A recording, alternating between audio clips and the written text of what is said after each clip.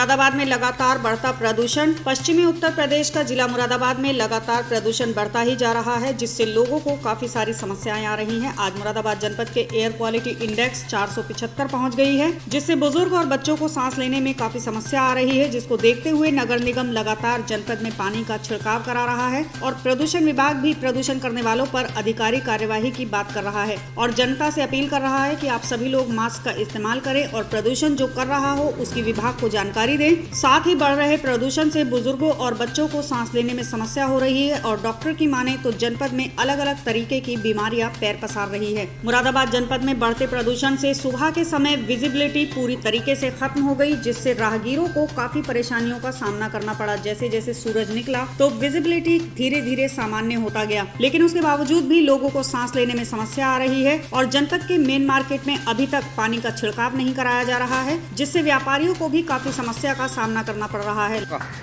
दिलीप सिंह। दिलीप सिंह आज मौसम ने करवट बदली है क्या कहना चाहेंगे? आज मौसम ने अचानक सडनली बहुत ही भयंकर तरीके से करवट बदली है और ये ट्रेनें आती हैं ये पुल वगैरह बिल्कुल विजिबिलिटी ख़त्म है। आधा तो धुआँ है धूल बहुत उड़ रही है शहर मुरादाबाद में। बहुत प्रदूषण है उसकी वजह से। ये जो कोहरा है ये नहीं जाने दे रही है। धूल को ऊपर और नीचे आ रही है धूल। सूर्य देवता भी देखिए बिल्कुल नहीं चमक पा रहा है। बहुत अच्छी खासी गलन है, मौसम में ऐसा लगता है कहीं बर्फ़ गिरी हुई है। इसकी वजह से इतनी गलन है मौसम के अंदर। और ये पहली ठंड है और इसने अच्छा खासा एहसास करा दिया तो बहुत अच्छी ठंड है और आगे पता नहीं भविष्य में कैसी ठंड पड़ेगी इस बार। मुझे लगता है इस बार लोन का महीना था, उस हिसाब से ये दिसंबर आ गया।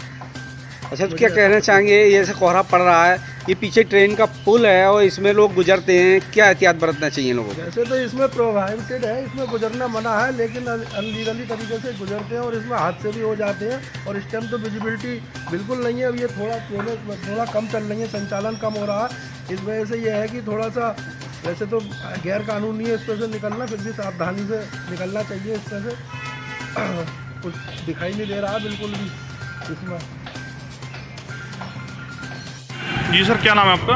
मयंक हंसराज मयंक जी आप एक व्यापारी हैं मेन मार्केट में आपके दुकान है। क्या स्थिति है इस वक्त प्रदूषण की मुरादाबाद में? प्रदूषण की स्थिति बेहद दयनीय है। एयर क्वालिटी इंडेक्स में मुरादाबाद का बेहद गिरा हुआ है और बहुत ज़्यादा दिन और रात दोनों ही समय बहुत ज़्यादा धुंध व्याप्त है जिससे पशु पक्षियों को तो दिक्कत हो ही रही है। साथ साथ जो बुज़ुर्ग लोग हैं और जो बच्चे हैं जो मास्क नहीं लगाते हैं सामान्य घर में भी रह रहे हैं मार्केट से विशेष जुड़े हुए जो घर मकान हैं उनको ज़्यादा मुझको लगता है कि लंग्स इफ़ेक्ट होगा जैसा कि अब धुंध इस समय हम लोग देख रहे हैं। और प्रशासन का इसमें हम देख रहे हैं ज़ीरो टॉलरेंस लेवल पर काम नहीं हो रहा है जैसा होना चाहिए। बिल्कुल अनियमितता स्तर पर हो रहा है जैसे छिड़काव होना चाहिए या तो जैसे हम दिल्ली में देख रहे हैं, अन्य प्रदेशों में देख रहे हैं। अगर ऐसा नहीं होता है तो लगातार प्रदूषण से स्वास्थ्य को तो दिक्कत होगी ही होगी और प्रशासन को भी दिक्कत होगी जब स्वास्थ्य समस्याएँ होंगी और व्यापार को हानि हो रही लोग घरों से निकलने में दिक्कत महसूस कर रहे हैं और बाहर जाने में उन्हें लग रहा है कि कहीं ना कहीं स्वास्थ्य हानि उन्हें हो सकती है। लगातार बढ़ रहे प्रदूषण, मुरादाबाद की जनता को चिंता का विषय बना हुआ है, क्योंकि लोगों को सांस लेने में परेशानी, आँखों में जलन की समस्या आम हो गई है। साथ ही सड़क पर प्रदूषण करके चल रहे वाहनों से भी लोगों को सांस लेने में समस्या हो रही है। प्रदूषण विभाग और नगर निगम का दावा है कि जल्द ही सब कुछ सामान्य हो जाएगा। अब देखना ये होगा कि कब तक जनपद वासियों की इस समस्या का हल होता है।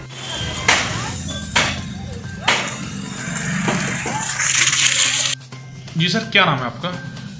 डॉक्टर रिजवान पाशा डॉक्टर साहब जिस तरीके से मुरादाबाद में ए क्यू आई बढ़ रहा है किस तरीके के मरीज़ आ रहे हैं अब आपके पास?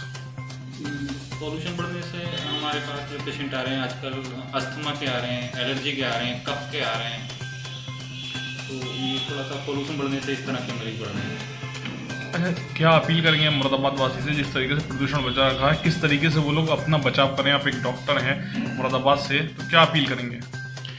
मेरी अपील जनता से यही रहेगी कि वो थोड़ा सा अपना साफ़ सफ़ाई का पर ध्यान दें। मास्क कंटिन्यू लगाएँ और हाथों की साफ़ सफ़ाई रखें। और जो ये आजकल ई कचरा है, इसको ना जलाएँ। और जो फैक्ट्री से उड़ने वाला जो धुआँ है, इसकी रोकथाम की जाए। यही सरकार से मेरी अपील रहेगी अच्छा जिस तरीके से लगातार पेशेंट बढ़ रहे हैं, उसके बाद जो उम्र दराज लोग हैं, क्या मेन समस्या क्या आ रही है उन लोगों मेन समस्या क्या है? क्या ये पॉल्यूशन की वजह है? सब पॉल्यूशन से जो है अस्थमिक कंडीशन बढ़ती चली जा रही है, उनको खांसी काफ ये दिक्कतें आती हैं।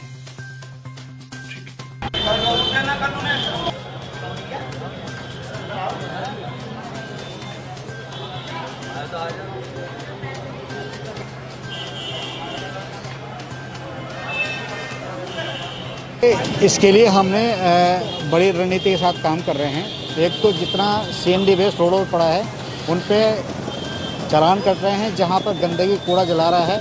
कल भी हमने तीन लोगों को नोटिस जारी किया। परसों भी हमने एक नोटिस जारी कराया, जिसे दस हज़ार रुपये जमा कराया। और आज भी शहर में जगह जगह हम छिड़काव करा रहे हैं और आज संबल रोड को पूरे एरिया को धूल डस्ट फ्री कर रहे हैं ये पूरा अभियान आज यहाँ लगा है। सुबह से सात बजे से लेबर है और मैं कंटिन्यू इसी अभियान पे हूँ। और प्लांटेशन छिड़काव और उसमें रोड स्वीपिंग मशीन के माध्यम से हम पूरे शहर को सफ़ाई कराने की तरफ़ अग्रसर हैं। आगे ये कंटिन्यू पिछले कुछ महीनों से चल रहा है और आगे भी कंटिन्यू चलेगा और इस पर विशेष ध्यान दिया जा रहा है। जी सर, लगातार मुरादाबाद में जो एयर क्वालिटी इंडेक्स है वो लगातार बढ़ रही है, उसको रोकने के लिए क्या प्रयास कर रहे हैं जो प्रदूषण को लेकर शहरवासियों से क्या अपील करेंगे? जो आपके प्रश्न है कि क्या प्रयास करे जा रहे हैं और अपील क्या करेंगे? प्रयास में हम लोग प्रदूषण विभाग जो है, जो हमारे उद्योग है, उनका नियमित निरीक्षण कर रहे हैं और जिन उद्योगों में यदि कोई कमी पाई जा रही है या आशंका पाई जा रही है, उनको हम नोटिस प्रेषित कर रहे हैं कि अपनी व्यवस्थाओं को ठीक से संचालित करें। नगर निगम द्वारा सघन रूप से जो है जल छिड़काव करा जा रहा है, जिससे कि धूल ना उड़े ज़्यादा। और यहाँ पे जो मुख्यतः समस्या है वो P M two point five से है, जो कि वाहनों से जनित होती है। इसके लिए यहाँ पे पुल अभी ओवरब्रिज चालू हो गया है और एसपी ट्रैफ़िक महोदय द्वारा नियमित कार्रवाई करी जा रही है। वाहनों का कागजों को चेक करके उनके चालान करे जा रहे हैं कि पीयूसी सर्टिफिकेट है या नहीं। यही सब कार्रवाइयाँ करी जा रही हैं।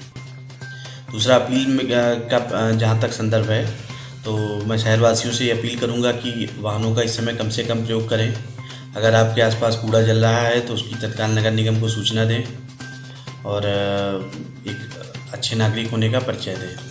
सर जैसे अस्पताल खुले हुए हैं उनके पास इस तरह का जलाने का कचरा जलाने का कोई सिस्टम नहीं है वो ऐसे ही खुले में जलाते हैं तो उनके लिए क्या कार्रवाई? अगर अस्पताल कचरा जलाए पाए जाते हैं तो उस पर नगर निगम कार्रवाई करता है अपने स्तर से। और यदि उनमें बायोमेडिकल वेस्ट जलाया जाता है और मामला हमारे संज्ञान में आता है तो हम लोग उस पर कार्रवाई करते हैं।